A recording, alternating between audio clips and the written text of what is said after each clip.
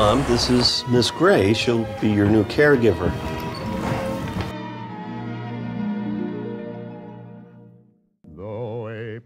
I really feel like we could get along. I, I would love to have you here indefinitely.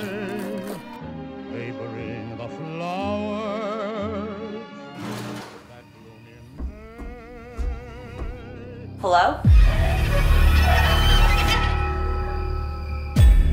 This house.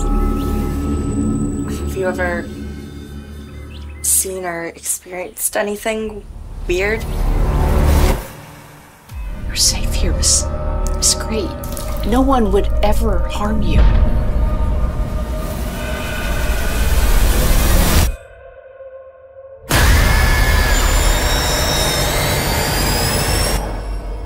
I'm not crazy. I know what I saw all these things that you say you're seeing and hearing.